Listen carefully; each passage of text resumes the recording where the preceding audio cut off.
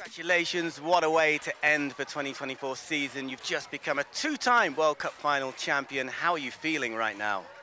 Sì, sono felicissima perché l'ultima l'ho vinta nel 2015 e quest'anno avevo bisogno di riprendermela perché non ero venuta via, cioè ero soddisfatta dalle Olimpiadi, però mi era rimasto un po' di amaro in gola. So it's, she's very happy because uh, finally the gold medal is back. Since the last uh, 2015 when she won the last one.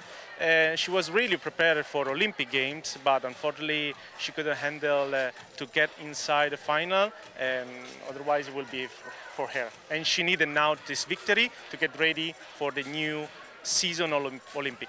So that's good for her, right? Yeah, you've got that confidence now going into the new season. Did you enjoy shooting here in New Delhi today? It's warm, but also there's been a very warm atmosphere, lots of noise from the spectators here in New Delhi. Eh, come ti senti adesso qui a sparare in questo campo che tra l'altro fa anche caldo? e- Gli spettatori dietro. Esatto, esatto.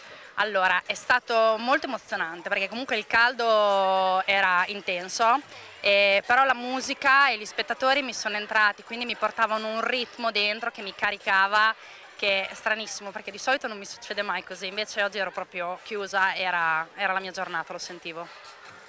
So she feeling she was feeling that today was her day, and which she is very thankful to the vibe, to the great vibe that in this beautiful um, range uh, they give. Because as you see, we have a lot of people here, and they were cheering her a lot. So they give her the energy that only needed.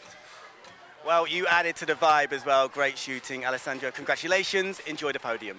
Thank you, thank you very much.